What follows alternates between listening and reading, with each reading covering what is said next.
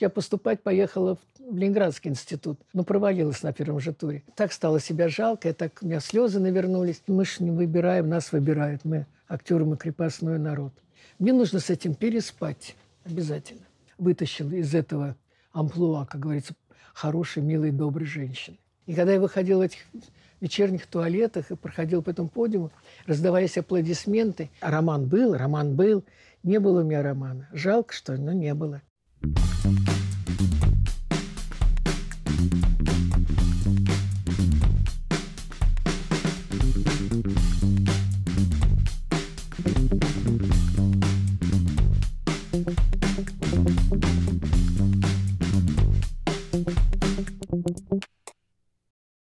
Как народная артистка Российской Федерации. Что еще? Лауреат Государственной премии Германии, пожалуйста. Что еще можно сказать? А, кавалер Ордена Дружбы. ну и все, хватит. Какое ваше самое первое яркое детское воспоминание? Ну, самое первое детское воспоминание, это связано у меня... Э, мы прожили всю блокаду в Ленинграде, и в конце уже был прорыв блокады 27 января снятие блокады даже. И нас почему-то эвакуировали. Хотя можно было уже не эвакуировать. И мы, нас э, отправили первым таким эшелоном, который шел на Сибирь. И первый шел из Ленинграда, из осажденного Ленинграда. И вот там много народу, что собрали еще детей, женщины, посадили в товарные вагоны и направили, направили нас в Сибирь туда, эвакуировали. И так шли, состав шел, и в каждом большом городе, где-то большом, останавливался и высаживал человек 10-15. Разбирали, подходили местные жители, разбирали там по домам себе блокадников. Ну вот, а мы доехали так до Ленинск-Кузнецка. В Сибирь попали. И тоже так нас высадили. Поезд ушел. Подошли местные жители. Ленск-Кузнец такой небольшой городок. Сейчас он стал большим городом, а тогда это почти деревня была. И как-то всех разобрали, а нас никто не взял с мамой. И мы стоим, думаем, а что делать-то? Я маленькая, мне там четвертый год, три с половиной, вот так, примерно четыре уже года. И в ужасе, потому что поезд ушел, куда нам деваться, нас никто не взял. Может быть, мы такая худая мама, наверное, была я такая маленькая, совсем тощая. А там они все-таки брали так, чтобы покрепче были, чтобы могли по хозяйству помогать. И только когда уже мы остались вдвоем с мамой, растерялись очень, и пошла женщина с девочкой, и вдруг она так обернулась, и потом она сама рассказывает, тетя Надя. Я ее до сих пор помню. Мою дочку звали Наташа. Она так посмотрела, э, оглянувшись, посмотрела, стоит девочка с мамой, значит, с женщиной, такие большие глаза и полные слез. И она говорит, мне так жалко стало ее. Я говорю, Наташа, пойдем, заберем их к себе. И вот они вернулись и забрали нас к себе. И вот спасибо тете Наде вот с Наташей. Мы у них, ну, год мы там прожили, потому что нас уже в 45-м вернули обратно после уже Дня Победы. В июле месяце мы вернулись обратно в Ленинград в 45-м. А мы уехали туда к 44-м. И встречали там Новый год. И вот еще такое, мне, что мне запомнилось тогда, потому что блокаду я не помню. Я все-таки, мне было два с половиной-три года, я не помню блокаду. Только по рассказам мамы знаю. А вот Ленинск-Кузнецк, у меня уже там, я все-таки повзрослее, я вспоминаю, как мама она э, устроилась работать на местный мясокомбинат, маленький там такой, и устроили нам детскую елку там на мясокомбинате. И вот я помню, как мы все читали, кто что мог, там кто-то плясал, кто-то пел. А я прочитала стихотворение э, «Исповедь танкиста» или «Воспоминания танкиста» это Твардовского. Там есть такие строчки. «Был сложный бой, все нынче как с просонку, только не могу себе простить. Из тысяч лиц узнал бы я мальчонку, но как зовут, забыл его спросить». Это длинное такое стихотворение, как мальчик на, показал, где немецкий снайпер находится. И наши его уничтожили и смогли взять эту деревню. И вот я прочитал это стихотворение, и, видно, хорошо прочитал. Это мое было первое выступление на зрителя – и меня после этого заведующая этим мясокомбинатом взяла на руки, понесла меня в другую комнату, и, а там жарились котлеты. И она мне подарила котлету, дала мне котлету на вилке. Я, ну, блокадный ребенок, блокадного Ленинграда, который кроме кусочка черного хлеба, там, что мы там знали обои, которые варила мама, чтобы хоть чувствовать, что там мучное что-то есть в этой жидкости. И вдруг здесь мясо настоящее. Вот я запомнил, вот это тоже осталось у меня в памяти. Это моя первая награда за мое выступление. И потом все-таки запах. Вот я запомнил вкус этой котлеты. Конечно, это для меня тоже вот такое впечатление осталось на всю жизнь мою. Вы после этого решили выступать на сцене? Ну, я не знаю, может быть, так судьба распределилась, потому что я в то время-то не думал, что я буду актрисой. Но когда я уже переехала, мы уже, из, вернувшись в Ленинград, наша квартира была занята, и нам пришлось, поскольку у меня папа, дедушка был Адольф Густав Трейер, вот мама не называла свое отчество в блокаду в Ленинграде, боялась Евгения Адольфовна говорить. Но все-таки Адольф, Гитлер, Адольф. И, э, и он погиб. Он погиб, правда, еще дедушка погиб еще в 16 году. Он был в действующей армии, еще царской. А брат его, дядя Карл, он э, большевик. Его направили восстанавливать советскую власть в Эстонию, в Таллин в 40 году. И вот когда нам негде было жить, он нас забрал к себе в Таллин. И мы с 40 э, с 45-46 года до конца школы я прожила все детство, юность в Таллине. В нашей школе был очень хороший драм-кружок. И вот я стала тоже заниматься в этом драм-кружке. И, ну и вот это, наверное, определило мое желание стать актрисой, потому что мы играли, уже будучи школьниками, мы играли на настоящей драматической сцене Русского драматического театра в Таллине, детские спектакли. Театр уезжал на гастроли, а нам предоставляли вот сцену. Так что наш драм-кружок у нас был очень сильный. Я всегда хвастаюсь тем, что из нашего драм-кружка вышел Володя Коренев, наш ихтиандр известный, Игорь Исулович из нашего драм-кружка, Лиля Малкина, такая актриса, она сейчас в Праге работает, ее называют Пражской Раневской. Вот, потом Киркосян Лейла, она в Ленинградском театре, народная артистка. Потом э, Виталий Коняев, который, к сожалению, их уже никого нет, кроме Лили Малкиной, вот Лилия Киркасян. А все остальные, и наш руководитель Иван Данилович Росомахин, он был актером Русского драматического театра, а потом он уехал уже э, после перестройки, он уехал, или даже во время, может быть, я не помню точно, но он уехал в Ленинград и работал, был вторым режиссером Товстоногова в БДТ. Вот он нам привел действительно любовь к сцене, к театру. И у нас многие, вот у нас 10 человек стало актерами из нашего драм-кружка. И вот и такие имена, как я назвал, это все народные артисты. Как в Таллине относились к вашей семье? К нам относились нормально, потому что я полуэстонка читаю. У нас, мы, у нас был эстонский в семье, мы говорили на эстонском языке. Училась я в русской школе, но мы, у нас эстонский был в семье. Так что, вы знаете, важно знать язык той страны, в которой ты живешь тех народов, тогда они будут к тебе нормально относиться практически. У нас такого не было, чтобы мы что-то по отношению к себе какой-то антагонизм. Этого не было. Ну, ну, конечно, ну, я не знаю, это может быть... Я как-то ребенком была, мне как-то не было... Мы дружили с эстонцами и с русскими на танцами, когда уже в 10 классе учились, ходили в эстонские клубы. С эстонцами танцевали, общались. Все было нормально, в принципе. Эстонский язык стал для вас родным? Вы по-прежнему можете на нем говорить? Иногда, я даже сейчас иногда вас не могу говорить по-эстонски. Вот так вот снится эстонский, там, lähme jalutama, там, ilus päev, sina oled ilus. Вот, пожалуйста, я говорю, вы красивая девушка, а sina oled ilus красивый мальчик, понимаешь? Так что я еще эстонский кое-что помню. Когда говорят, я, если не очень быстро говорят, я еще могу перевести, как бы понять. Но все-таки он был же в семье язык, поэтому как-то Родным, может, не стал, но иногда я вот во сне говорю по-эстонски. Как вы думаете, когда в Эстонии отношение к русским стало ухудшаться? Я не знаю. Я, честно говоря, ничего этого не ощущал. Вот в последнее время, когда я уже приехала, приезжала уже сейчас, вот лет пять назад мы были шесть со спектаклем. Да, уже как бы, когда ты не говоришь по-эстонски, по-русски говоришь, они уже к тебе неважно относятся, не очень хотят обслуживать. Но это что делать? Ну, изменилось как бы другое поколение, другой менталитет совершенно. А в то время там были многие очень, и выходили замуж за эстонцев, эстонцы женились на русских. Так что те годы, как раз вот 46-й, там по 80-й даже, еще там было нормальное совершенно взаимоотношение. Просто вот потом началось, да, все хуже и хуже. И уже, я помню, приезжала, когда в Таллин э, к маме, мама когда там еще жила, 80-е годы, я помню, там уже были моменты, когда ощущалось, когда на около памятника там поливали памятник краской русскому солдату, советскому солдату, как э, что-то там цветы ломали, в общем. Ну, это были такие, да, уже возникали такие отношения. Но очень обидно было, потому что я люблю очень Таллин, люблю Эстонию, мне нравится город. И для меня, считаю, своим родным городом. У меня родилась в Ленинграде. В Ленинград я что там прожила два, три года, там четыре. А Таллин я прожила почти всю свое детство и юность. И Москва, естественно. Вот у меня три города, которые родные.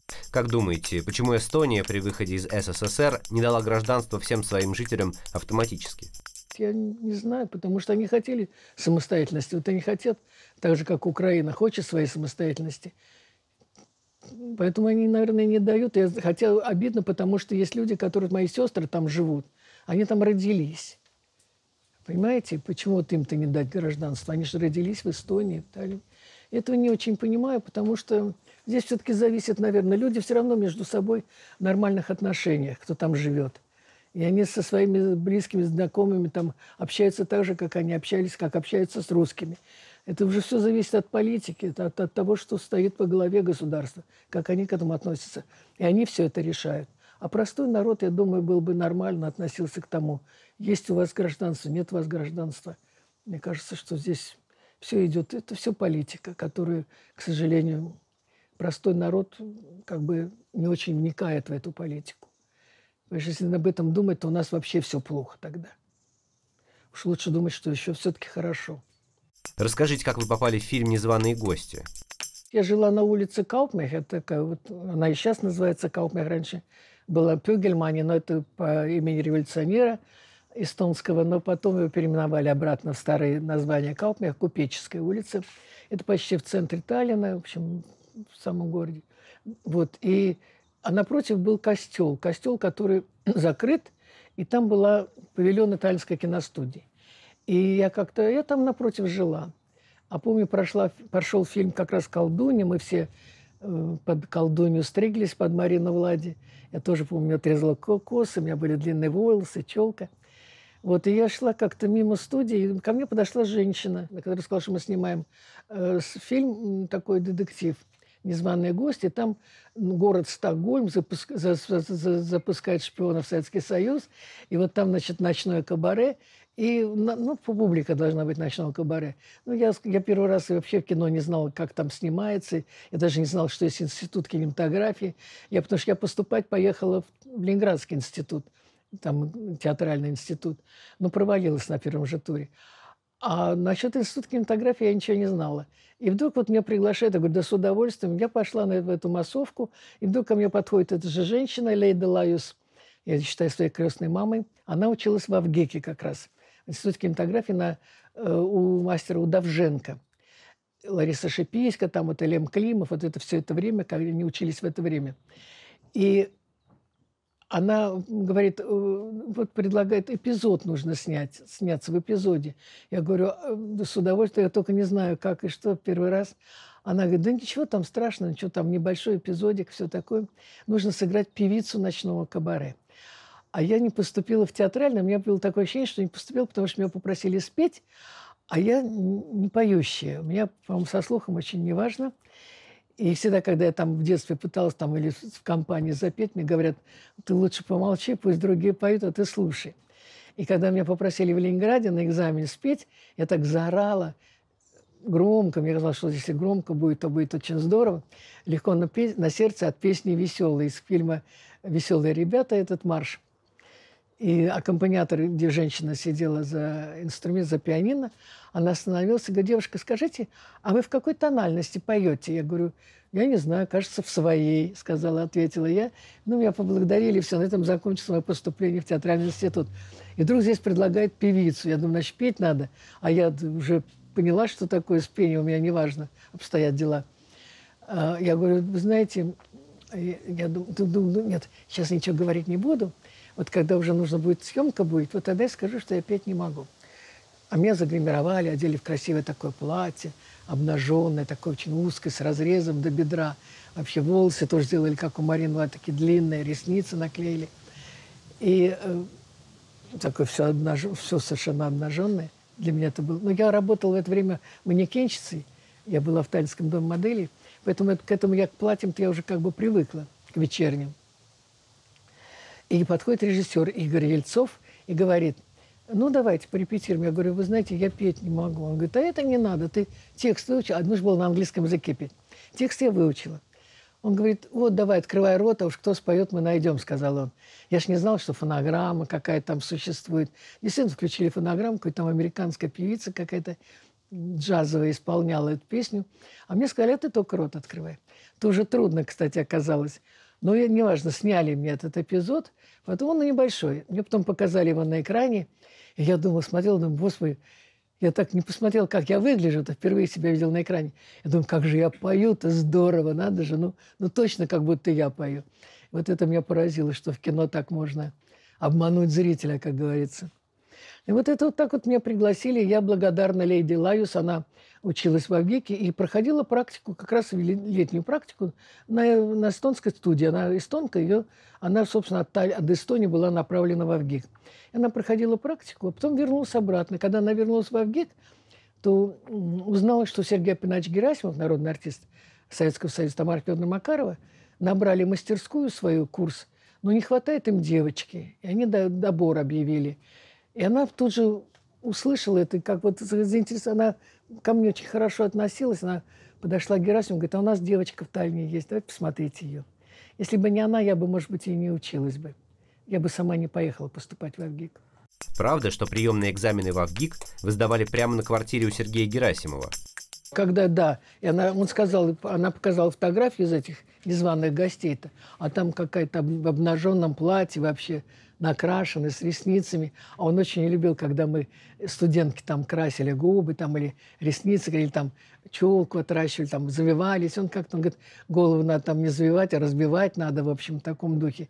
И когда он посмотрел, говорит, а я что здесь не понимаю, не понимаю, пусть приезжает, я на нее посмотрю. Вот, но мне повезло, вот и так вот вела судьба меня. Может, я, я говорю, я бы, наверное, сам, я не, не очень решительный человек, и я, как говорится, не могу бороться за себя. Я бы, наверное, больше не поехала поступать. Думаю, раз я не попала, значит, это не мое. Но вот когда я стала манекенщицей, потому что я почему пошла в манекенщицы? Потому что для меня подиум, этот язык, как раньше называли, это тоже метр от сцены, как от земли, как сцена театральная. И когда я выходила в этих вечерних туалетах и проходил по этому подиуму, раздавались аплодисменты.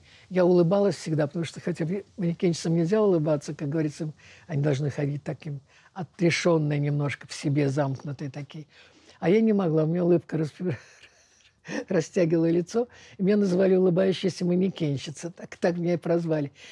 И вот, может быть, это мне дало тоже вот это вот ощущение сцены, вот этот подиум. И когда я когда меня Лейда Лаюс была на этой практике, она просто заинтересовалась моей судьбой. И, конечно, когда она сказала, вот поэтому у меня судьба и так... А в это время набирали еще, приезжали ассистенты режиссеров с Мосфильма. Аллов и Наум снимали «Мир входящим». Был такой фильм у них, очень хороший фильм. И там нужна была немка, роль немки. А поскольку, как всегда у нас в советское время, если играли иностранцы, то в Прибалтику ездили за артистами. Также и в Таллин приехали. И вот меня пригласили на кинопробу к Малову Наумову на Мосфильм. И совпало, что мне нужно было в Авгик ехать. И здесь мне прислали билеты Мосфильм. И я приехала за счет Мосфильма. Э, поселили меня в Украине, где живет Сергей Павлович Герасимов, Тамара Федоровна Макарова. Там их квартира, до сих пор она там. И вот Илейда, когда узнала о том, она сказала, девочка приехала, он говорит, пусть приходит ко мне домой, я ее послушаю. Вот так мне повезло, потому что если бы я приехала на общих основаниях, стала бы сдавать экзамен, я боюсь, бы провалилась наверняка. Как проходил ваш экзамен у Герасимова? Я когда вошла, ну, первое, что... Ну, единственное, что у меня был красивое платье, поскольку есть дом модели все-таки, у меня были, я уже, так сказать, умела, как говорится, одеваться более-менее. И у меня была красивая такая муаровая юбка, черная с таким широким поясом. Я худенькая была, и с широким поясом, с таким, который из этого же материала затягивался, талия тоненькая, и рубашечка такая, кофточка какая-то серая, серебристая, ботиночки на каблуке.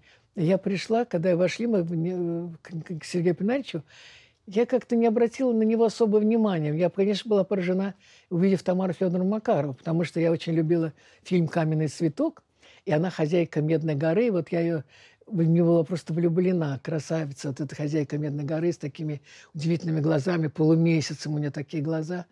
И я, конечно, все внимание на нее уделила все, на нее смотрю, а это какой-то такой усатый, лысоватый, маленький. Я на него внимаю, я, ну, Герасимов, Герасимов, откуда я знаю, кто такой Герасимов, вообще понятия не имел. Ну, режиссер, все. А надо было на него, конечно, внимание обращать. А он так сразу взглянул на меня, посмотрел, он же невысокого росточка, Сергей Павлович. Он так посмотрел мне, да, что-то ты рослое, сказал он мне. А я говорю, да у меня каблуки. Он говорит, ну вот снимай-ка. Я сняла, значит, босиком стою в, не знаю, носочки были, что-то там было. Ну, в общем, без туфель, без этих сапожек. Стою и читаю, как он говорит, что-то, ну, почитай. Я говорю, ну вот э, ландыши продают, стихотворение такое. Он говорит, это что? А в это время был моден хит «Ландыши, ландыши, светлого мая, привет», вот этот вот, который почему-то считали пошлым в наше в то время советское. Хотя сейчас он спокойно слушает, и хорошая песня. А тогда считалось пошлым. Герасимов не любил очень эту песню. Он говорит, это что, те самые ландыши? Я говорю, нет, это другие ландыши. Я говорю, это стихотворение. Но прочитал как-то не очень, видно, удачно. Чувствую, что ну, так ему не очень нравится. Леда сидит за меня, переживает, у нее все пятнами красными лицо, она боится, что сейчас вот он скажет спасибо и до свидания. И я тоже думаю, ну все, значит, проваливаюсь опять. И я так стала себя жалко, я так, у меня слезы навернулись. Я говорю, а можно я вам прочитаю монолог Ларисы Дмитриевны из «Беспреданницы»? Он говорит, ну давай, читай. Я так уже стоять не могла, взяла стульчик, села, слезы текут – я начала читать, там давеча я за Волгу глядела, и начала читать монолог. А поскольку плакала ты от того, что я себя пожалела, а все совпало с, с эмоциональным состоянием Ларисы Дмитриевны, все это наложилось друг на друга, он смотрел, смотрел, говорит, ладно, все, хватит, я тебя беру, сказала мне, и все. И так меня взяли в Авгик. Говорят, из-за фильма «На семи ветрах» вы чуть не стали невыездной. Что случилось? Я поехала первый раз, студентка, будучи, пришла на второй курс – как раз и направили картину на «Семи ветрах» в Канны на кинофестиваль. Сначала наша картина должна была быть в, в, этом, в конкурсе, а за две недели что-то вдруг поменяли, и нашу картину сделали вне конкурса, а когда деревья были большими, Кулиджанова Льва в конкурсе. И вот наша делегация поехала, я в составе делегации поехала в Канны. Еще Инна Гулая была, а так у нас была делегация очень мощная – все были мэтры кино, кино, кинематографа советского. Это был, главой был Герасимов Сергей Полинарович, а в составе был Познер, Владимир Александрович Познер, это отец Володи Владимира Познера. Потом был это сам Райзман, Чухрай, Кулиджанов, Ростоцкий. В общем, все уже известные кинематографисты. И вот когда мы приехали туда, в Канны, там, ну, как всегда, показ идет фильма – определенной страны. Вечером делается, должна страна это устраивать банкет. И вот когда показали, когда деревья были большими, мы должны были банкет устраивать. Советская страна. И на этом банкете ко мне подскочил какой-то американский журналист и пригласил. А был в это время моден твист. У нас его запрещали, а везде вся Европа танцевала твист. А у нас просто, когда у нас в общежитии, это у нас все-таки мы пытались там и танцевать, и учиться всему этому. Но у нас тут же комендант выключал музыку, выключал электричество, чтобы только не было этого твиста несчастного. Там рок-н-ролл твист, все было запрещено. И когда я улетела в Германию, эту самую в Канны, то мне мой друг, ну, наш товарищ с курса Рома, Михайловича Рома, он жил в Париже. Коста Диани, режиссер. И он мне говорит, ты твист умеешь танцевать? Я говорю, «М-м». Он говорит, там все танцуют твист, тебя пригласят, а ты не умеешь. Давай я тебя поучу. Ну, он меня там в общаге научил меня танцевать твист, хотя бы элементарным движением. И когда я приехала, вот на, этот, на этом банкете ко мне э, подскакивают американские журналисты, журналисты просят, э, приглашает на твист, заиграли твист. Я говорю, я не танцую, я не пойду. А нам, студентка, нам тогда... Ну, это, это, это, это что рассказывать, вы даже этого не поймете, потому что было очень строго. Мы не, мы не имели права, например, выходить из номера отдельно, там ходить, одной куда-то выходить, только в составе делегации. Нам просто указание было такое, комсомолки были. Нам сказали, что только в составе делегации, ни с кем не общаться, ни с кем особенно не встречаться, никуда особо не ходить, понимаете? Все это были сложности. И твист, тем более, как я могла пойти танцевать твист, если он у нас запрещен. И здесь Сергей Аполлинарович говорит, иди танцуй, потому что ты моя студентка, а моя студентка должна все уметь делать. Ну, я пошла, думаю, раз мне Герасимов разрешил, я пошла танцевать. В это время почему-то все остановились. Этот журналист куда-то исчез. Ко мне подскочил какой-то тоже такой, типа, афроамериканца какого-то, потому что он стал танцевать, он вытворял такой, там он вставал на мостик, он что-то там вытворял какие-то фигуры непонятные. А я так элементарно там около него что-то там, не помню, делала какие-то телодвижения. И все, это все сфотографировали. И все поместили на следующий день. Есть такой журнал «Паре матч» французский. И он большой такой, реакционный тогда считался журнал. И там на развороте было все показано, я в крупным планом, там с этим вот э, танцором. И, значит, мужики почему-то все вокруг стоят, все смотрят на меня. И я в каком-то платье такое, мне подарила там художница Надежда Петровна Леже, супруга Фернана Леже, французского художника. Она русская, иммигрантка, художница. Она вообще художница была ученица Малевича. И она поставила себе цель, что она выйдет замуж за Леже. Она очень его любила, этого художника. И она эмигрировала в 20-е годы в Париж и нашла все-таки, добилась того, что стала женой Фернана Леже. Но когда мы там были, его уже не было в живых, но она его музей там очень организовала, очень красивый музей построила. И вот она нам очень помогала во всем, потому что денег у нас было мало. Нам давали там какие-то 30 франков в день в суточные, и все. И она платье нам купила ей платье, Инге, Инге. У Инги, Инги ничего не было. У меня были платья, мне дом модели итальянский дал два платья красивых. А у нее ничего не было. Она говорит, ну как красная дорожка, вам нужно красивых платьях. У Ларисы есть, а вот Инге надо купить. А новый муж ее, тоже художник, друг Фернана Леже, говорит, ну раз ты и не покупаешь, то и Ларисе должна купить платье. Она говорит, у Ларисы есть, он два красивых платья. Я так расстроилась, думаю, зачем я взяла эти платья, так бы мне тоже купили. Но он сказал, если ты не купишь ей, я куплю ей ящик Бакарди, он сказал. А Бакарди – это выпивка, ром. А она очень не любила, когда женщины выпивали, актрисы там или курили. Она очень не любила. Она почему-то их называла, почему-то это Бриджит Бардо – это курва, потому что пьет и курит все время. Вот. И она говорит, нет, нет, нет, я тогда лучше ей платье куплю, сказала она. И вместо Бакарди она купила мне платье. Вот в этом платье я танцевала. Такое кружевное платье, маленькое, как говорят, маленькое черное. Это было маленькое голубое платье цвета перванш, как она мне сказала. Такое французское слово, такой цвет, такой жемчужно-голубой. И э, было потом это все на развороте. И этот текст идет «Сладкая жизнь советской студентки». Ну и под каждым надпись какая-то. И все это попало, конечно, тут же на стол Екатерине Алексеевне Фурцевой. Ну и что, тогда был железный занавес все-таки. И все, она сказала, у меня следующая поездка в Карловы Вары, там э, в Каннах была в начале, а в Карловых Варах был в конце мая. И она меня вычеркнула из состава, из списков, из состава делегации. И если бы Ростоцкий случайно не увидел, Станислав Ильич, что меня нет в делегации, он стал обращаться к ней, говорит, а почему фильм везут, а героини главной нету? В составе делегации. Она говорит, она себя плохо вела. В Каннах я, не надо ей никуда ехать. Ну хорошо, Герасимов тогда опять помог. Он сказал, и Чухрай Григорий. Он сказал, как так, я виноват, это я ее попросил танцевать, заставил, практически меня наказывать, а за что ее-то наказывать? И, видно, ей стало неловко, она сказала, ладно, пусть едет, и меня включили опять в состав. А так бы я могла бы вообще, может быть, и из кино бы у меня уже не получилось бы ничего. Время было такое. Этот фильм обвиняли в том, что это рождественская сказка, а не фильм о войне. Это справедливо? Эта картина была... Ну, это был такой Кладе, э, критик. Он такой очень злобный был критик. Может, справедливый, я не знаю, но он почему-то картину не, не принял. Он сказал, что это какие-то сладкие э, ну, в общем, сказка, сказал. Сказка елочная такая. Хотя я понимаю, что эта картина, наоборот, она не сказка. Картина действительно, чем на действительно материале. Это все оригинальное событие. Это действительно такая девочка, санитарка, ухаживала с Исламом Ильичем Ростоцким, когда он был ранен. Ему ампутировали ногу, он лежал в госпитале. И она рассказала ему историю про то, что у нее ушел, ее жених ушел на фронт, и она не знает, где он находится. И она не знает, в каких родах войск он служит. И вот он говорит, может быть, сапер. Тогда он говорит, а может, саперам плохо. Это самое, чаще всего они без, остаются, взрываются, подрываются на минах.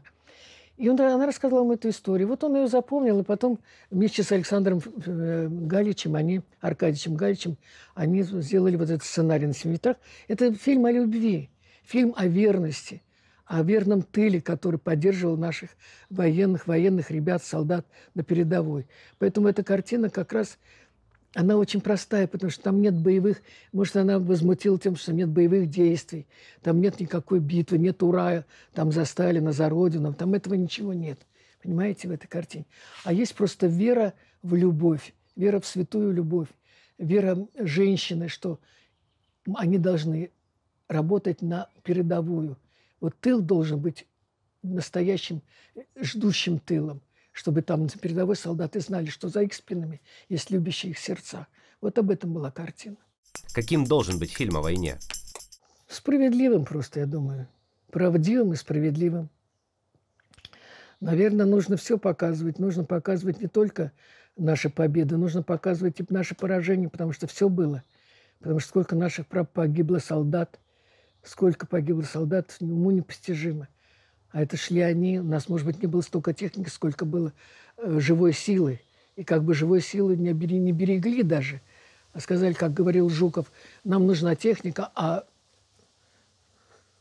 людей мы найдем. Понимаете? То есть не очень берегли солдат, к сожалению. В отличие от Суворова, который берег солдат и любил солдат. Вот. И поэтому картина должна быть ну, справедливой, верной. Я понимаю, что в те годы, когда снимали, война ушла, и снимались фильмы, или после войны, после войны фильмы, там нужно было патриотические картины, поддерживать наш дух, говорить о том, что мы такие вот великая нация, великий народ, что вот мы победили. А ну, нужно было все-таки честнее говорить. Ну, были хорошие фильмы, которые честно говорили о войне. Когда говорили о том и поражениях наших, не только о наших победах. Нужно, чтобы правду знал народ. Как считаете, сегодня нужно снимать фильмы о войне? Сейчас идет... Почему? Сейчас уже начинают снимать о сегодняшней войне фильмы. А как же? Ну, надо же... Я считаю, что надо. Надо, чтобы наши потомки знали, что происходит, что сейчас происходит. Наши внуки, вот мои внуки уже, они должны знать, что происходило в 45-м, 41-м, 45-м году. Понимаете, вот я считаю, что это необходимо. Это история. А как можно уйти от истории, если идет она все равно останется в, в этом в самом летописи, правда? Она останется в жизни нашей страны. И как же без этого не знать ничего об этом? Надо снимать. Как вам попытки современных режиссеров снимать военные фильмы? Я мало смотрю. Я, я, меня единственное поразило, мне очень понравился фильм. Я не знаю, он трогательный, он даже такой солдатик. Вот я вот военная картина, которая мне очень нравится. Она удивительна совершенно. Она так сделана хорошо. Такая добрая, такая светлая картина, э, что даже там этот мальчик маленький, там актеры даже лучше, по-моему, стали играть благодаря этому мальчишке. Они стали какие-то очень органичны, очень естественны. Не, ну есть хорошие, есть 22-23, вот сейчас военная картина. Ну, тоже, ну, я не знаю, это уже сегодняшний я не знаю, ну, смотреть, ну, интересно посмотреть, конечно. Ну, делают хорошие картины. Сегодня тоже много хороших фильмов. Я просто так не очень хорошо сейчас знакома с этими молодыми режиссерами. Понимаете, вот я Урсулика знаю хорошо, мне вот Урсулик нравится. Мне нравится э, там, кто там еще снимает. Но это уже тоже не, не совсем молодые режиссеры. Там Хатименко, там Кара, это уже тоже уже возраст у них. Как говорится, ну, типа за 50 лет все равно им всем. Вот. Ну, а снимать, я, ну, все равно есть. Вот сколько фестивалей, бываешь на фестивалях, все-таки есть хорошие картины. И кинематограф никуда он не погиб, не умер. Он есть и снимает, в общем. Только, к сожалению, что до зрителя не все доходят фильмы. Вероятно, прокат очень дорогой, не все картины доходят до зрителя. Именно хорошие картины. А что думаете об актерах, покинувших Россию после начала СВО? Ой, я не знаю не хочу на эту тему говорить. Вы знаете, пусть живут как хотят. Это их выбор. Пусть делают, что хотят. Правда, что вы были знакомы с Высоцким еще до съемок в картине «Вертикаль», где вы исполняли главные роли? Ну, мы мало были знакомы. Не то, что мы были знакомы, просто он приезжал к нам в общежитие. У нас общага была такая, когда приезжали, Муслим Магомаев часто приезжал и пел. Там у нас, у нас была комната специально для гостей. На четвертом этаже стояла пианино. И время было такое, когда мы все увлекались Серебряным веком, когда мы знали всех этих поэтов Серебряного века, когда э, пели какие-то романсы вообще. И все это было такое, когда при свечах пили вино Рислинг у нас был.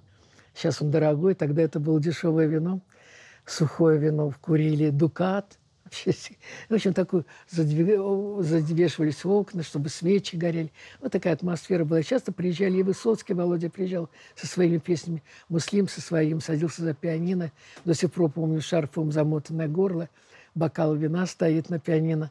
Он поет и курит без конца. Я еще думаю, он еще студентом был. Я говорю, думаю, как же так, такой голос, а человек курит. А вот он так до конца жизни не бросал сигарету.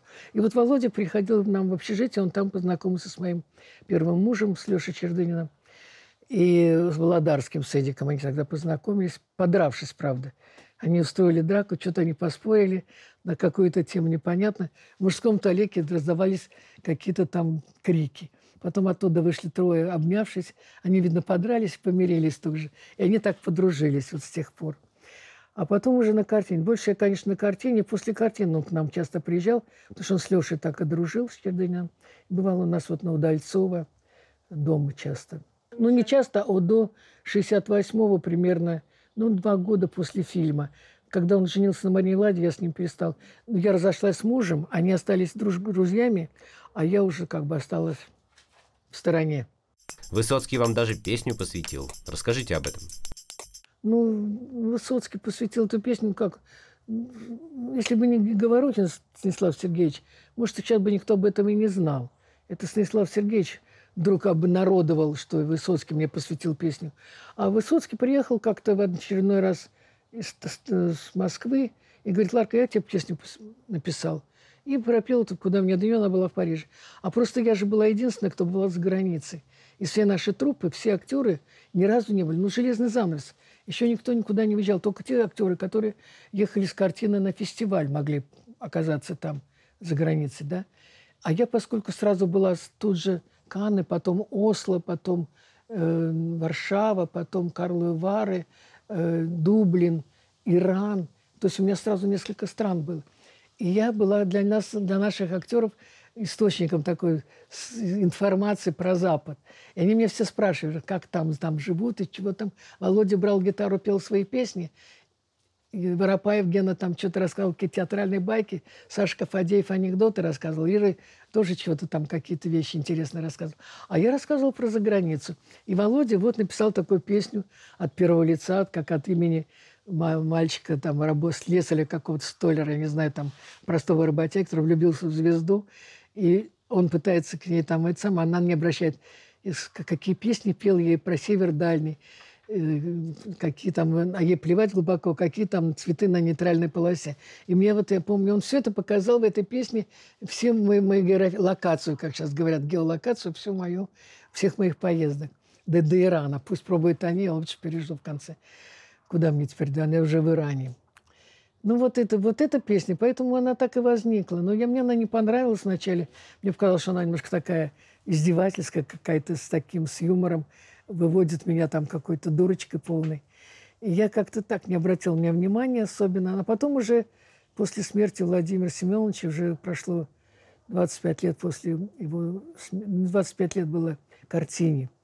А после его смерти прошло, не помню, сколько времени там ну, 25 лет фильма было, и ну, Володи уже не было. И мы были на премьере, ну, то есть на юбилее фильма со Станиславом Сергеевичем Говорухиным. И кто-то задал вопрос, а скажите, вот куда мне до нее, да, про Марину Влади, для Марины Влади. Он говорит, да никакой не Марине Влади, вот это Лариске Лужиной посвящена песня. Вот так узнали. Журналисты за это ухватились, потом стали меня все время спрашивать, а роман был? Роман был. Не было у меня романа. Жалко, что но не было, к сожалению. Ничего не поделаешь. А песня, вот сейчас мне она нравится. Думаю, а что, плохо, что ли? Хорошая песня. Я ее слушаю иногда, мне нравится. Э, Дима Харатьян ее часто исполняет, когда бывает... На моем, вот у меня был юбилей, он мне исполнил эту песню.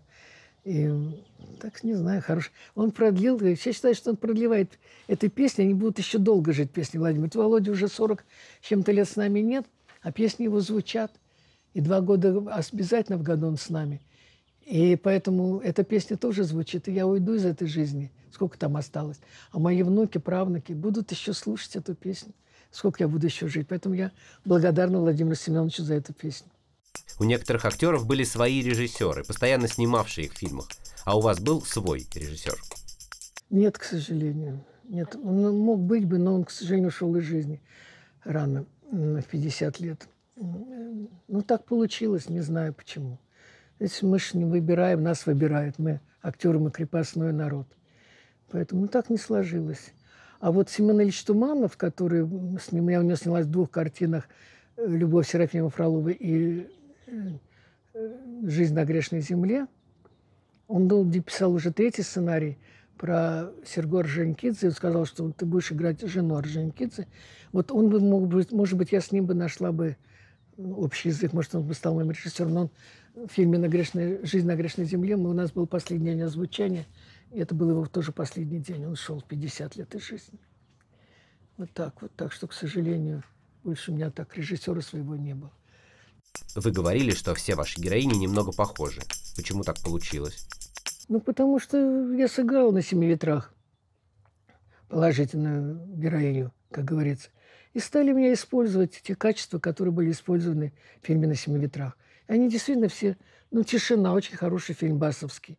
Но я играю там, ну, Светлану только повзрослевшую. Но, в принципе, характер похож. Добрая, отзывчивая, хорошая, положительная женщина. Честная. Ну, вот. И таких пришлось приходить. А вот благодаря Семену Ильичу я стал играть другие роли. Вот э, Любовь Серафима Фролова играет там характерную роль. Там совершенно не похожую на все мои остальные роли. «Жизнь на грешной» тоже отрицать, даже негативная роль. Понимаете, вот почему я благодарна Семену Ильичу, что он меня вытащил из этого амплуа, как говорится, хорошей, милой, доброй женщины. Вы говорили, что современному кинематографу не хватает искренности. Как вам кажется, почему? Я каждый раз смотрю фильмы современные, все как будто на месте, все правильно, все работают, хорошо работают, органично, плачут, много плачут, даже так, что слезы текут, даже думаешь, как же это, я говорю, я так не могу плакать. Понимаете, все что-то есть, но вот, вот чего-то не хватает. Вот не хватает действительно какой-то искренности, вот души не хватает. Понимаете, может от того, что это все очень но время такое очень быстро, скоротечно, очень быстрое, что если мы раньше... Вот у нас, когда нам с нами заключали договор, предположим, у нас там 20 съемочных дней, 10 репетиций обязательно. То есть в договоре уже стояли 10 репетиций обязательно. То есть мы работали, мы... у нас было время как бы вживаться действительно в свой, в свой образ. Понимаете, я помню, Тамара Федоровна Макарова мне говорила, Лариса, вот когда у меня не получалась роль, она говорит, ты возьми сочинить сама для себя всю историю своей Светланы Ивашовой, героини. Откуда она родом, кто у нее были родители, чего нет в сценарии. Но ты придумай сама для нее, и ты будешь жить ее жизнью. Вот тогда это будет естественно все. Может быть, сейчас не хватает времени для этого, чтобы каждая могла, актриса или актер, себе сочинить вот такое, жизнь своего героя. Понимаете? И бывает так. Нет, я не говорю, много очень хороших артистов, очень много я очень люблю, например, который Добронавы, ребята, все отец и оба сына прекрасные, и актрисы очень много хороших. Но иногда бывает так, что вот все кажется на месте, а чего-то не хватает. Я боюсь, что того, что приходит сразу, они быстро очень... Вот я в сериалах особенно. Еще в художественных фильмах-то это может быть не так. А в сериалах там они...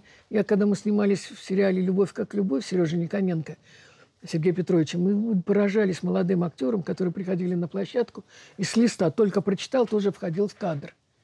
Понимаете? Я говорил, что я этого не могу сделать. Я не могу так прочесть и тут же встать перед камерой. Мне нужно с этим переспать обязательно. Понимаете? Я не знаю, как сейчас делать, как сейчас готовится молодежь. Но они какие-то быстрые очень. Ростоцкий влюблялся во всех своих героинь и хотел иметь с ними близкие отношения – и артистки, как правило, отвечали ему взаимностью. А у меня в то время был роман, и я никак не могла пойти на контакт с Ростоцким. И он от этого страшно злился. Как вы считаете, а это нормально, когда режиссер настаивает на близости с актрисой? Режиссер, он имеет право влюбляться в свою героиню, потому что для него она муза – как для поэта, пишет, пишущего стихи, должна быть муза, понимаете, которая его вдохновляет. Поэтому здесь ничего плохого в этом нет. Это прекрасно, наоборот. Когда влюбляется в героиню, значит, у него есть заинтерес, он знает, что он, что он хочет и от героини, и от своей, своей картины. Поэтому даже Нина Евгеньевна Меньшикова, которая с Ростовским прощала все, все его романы, они были все очень такие скоростные, они быстро проходили. Заканчивалась картина, все, у него любовь проходила. Но ему нужно быть влюбленным. Она говорила, если Стасик приходил домой, у него горели глаза, это прекрасно, значит, он влюблен в свою героиню. Значит, все будет хорошо с этой картиной. Понимаете, так что ему можно все простить.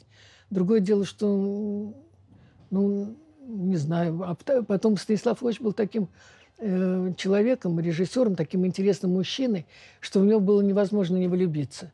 Он просто в него влюблялись. Он был очень интересный, он умный, начитанный, он, не знаю, какой-то обаятельный, он добрый, он коммуникабельный, он такой, ну, с ним было очень интересно, весело.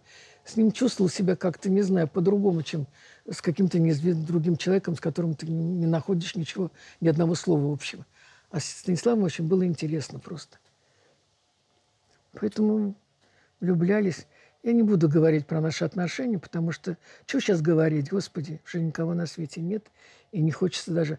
У нас были очень хорошие отношения, и влюбленность, может, у меня с моей стороны не было, у меня действительно был муж, Леша. Я не могу, почему он меня не хотел снимать, потому что мы не, у нас не накладывались, у нас отношения были натянуты на картине. Потому что ему нужно было ответ, ему нужно было, чтобы я тоже ответил ему. А если он не, не, не нет этой любви взаимной, то как бы не получалась работа. Но потом Герасимов, когда поставил его на место, сказал, что ты должен, ты виноват в этом во всем, что у него не получается. Он так ему сказал, ты скульптор, а это глина сырая. Тебе нужен талантливый, как скульптор, слепить из нее прекрасную статуэту, не статуэтку, фигуру, там не знаю что. Говорит, если не получается, значит, ты плохой скульптор. Вы сами часто влюблялись на съемочной площадке? Вот это то же самое, что режиссер влюбляется в свою героиню или героя. Вот Герасимов, например, Станислав Ильич, э, Ростов, Станислав Ростоцкий, например, он был влюблен в Тихонова. Вот для него Тихонов это был его просто талисман. Он снимал его в каждой своей картине. Понимаете? Ну, только там у них мужские взаимоотношения были. Они дружили, они рыбаки были, оба ходили на рыбалку, они у них домами дружили, у них были отношения дружеские очень. Но он знал, что без него он не будет снимать картин. Актриса должна быть тоже быть влюбленной, хотя бы не обязательно в режиссера. И мне, например, нравился очень оператор. Я была влюблена всегда в операторов. Я, поэтому у меня два мужа операторы. Первый оператор, второй Шувалов Валерий, у которого сын от него. Он хороший оператор, его многие знают. И «Интердевочка», и «Экипаж», и «Сказка странствий», царь араб Петра, Петр Араб женил. Так что я люблю операторов. И была влюблена я, кстати, Вячеслава Михайловича Шумского, который снимал все картины Ростоцкого. И он снимал «На семи ветрах». Он «Я зори здесь тихие», «Дело было пеньком», все снимал эти картины. Вот. И я была в нем красивый такой Генри Фонда, наш Генри Фонда такой был. Вот, а мне нужно было тоже быть влюбленной. Я говорю, я могла быть влюбленной в осветителя, там, не знаю, помощника, режиссера. Не знаю. Надо, чтобы этот объект, он может не знать о том, что я в него влюблена. А мне надо знать, что вот я прихожу и вижу человека, который мне, меня волнует чем-то. Тогда я по-другому вообще начинаю работать. Так что влюбленность должна быть. Она у всех должна быть. В 2015-м вы говорили о Владимире Путине. Он хочет, чтобы мы были счастливы, чтобы наш народ не знал войны, чтобы наши дети были счастливы, чтобы тоже не знали войны. Вы по-прежнему так считаете? Ну, конечно, я считаю, что так и должно быть. Вообще, правитель, любой правитель любого государства должен бороться за то, чтобы не было никаких войн. Ты должен. Это еще говорил Александр Третий наш, прекрасный император миротворец, который был, при котором не было ни одной войны, Великую империю нашу российскую. Поэтому я считаю правильно, что говорил Путин, что действительно, но тем не менее все равно это происходит. Что же делать? Но лучше, чтобы их не было, чтобы не страдали, чтобы не плакали матери. Представляете, сколько сейчас слез, мы же этого не знаем, сколько слез у матерей на глазах. Если почитать, сколько погибло уже ребят. Ты, конечно, хочешь, чтобы этого не было. И Путин в этом прав совершенно. Что вы чувствовали, когда во время визита в Венецию в 2020 году посещали могилы великих русских эмигрантов Бродского, Стравинского, Дягилева? Ну, я испытывала чувство, что все равно это вот мои соотечественники. Представляете, вот такое ощущение, что это частица нашей России там находится. И я гордилась, потому что это очень известные люди. Известные люди всего, на все это. Это люди мира. Действительно. А это наши соотечественники, это наши русские.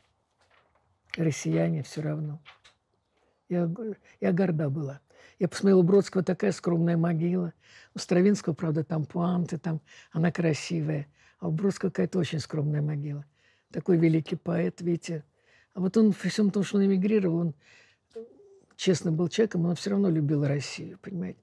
И мне еще я его люблю за то, что он признал Владимира Семеновича за поэта. Первый, единственный поэт того времени. Ни Евтушенко, ни Рождественский, ни Вознесенский, ни Ахмадулина. Никто Володю не принимали в свой круг. Хотя они любили его, они с ним дружили. Но он хотел быть членом Союза писателей. Его же не брали. Его никто никуда не брал. А он очень страдал от этого. И только Бродский в 1972 году сказал, подарил книгу, написал «Поэт поэту» Бродский. Он признал Володю еще тогда поэтом.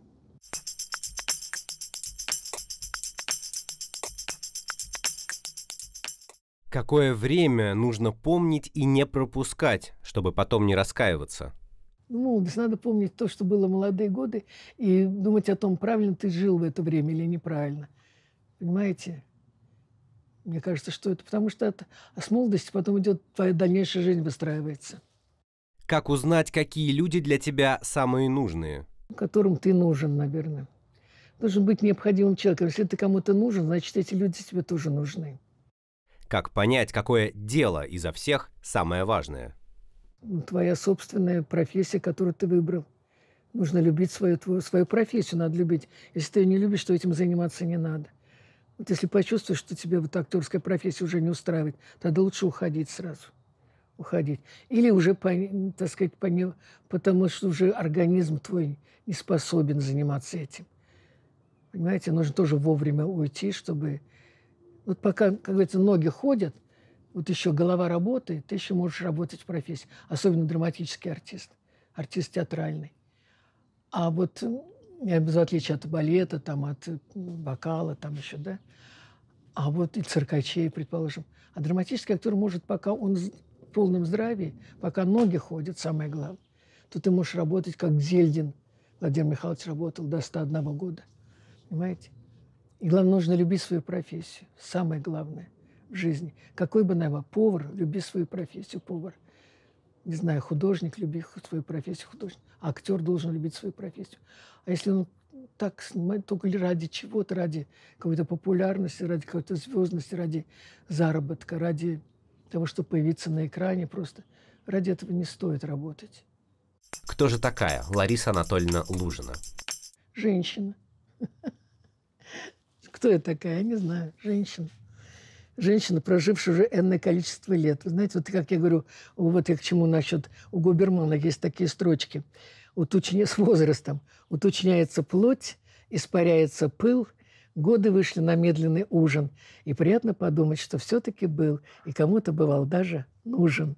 Вот. Так что я считаю, что пока, выходя на сцену, вот сейчас я еду на фестиваль, у меня творческие встречи. Я недавно была, ездила буквально в Красноярск, где-то я еще была сейчас э, Кстово, город такой, в Чебоксарах. Была с творческими встречами. Когда я выхожу, сидит зал, полный народа, мне аплодируют, мне улыбаются, мне дарят цветы. Я чувствую себя нужным. Мне уже прекрасно. Мне все это продлевает мою жизнь, поэтому я так, слава богу, долго живу на этой земле. thank you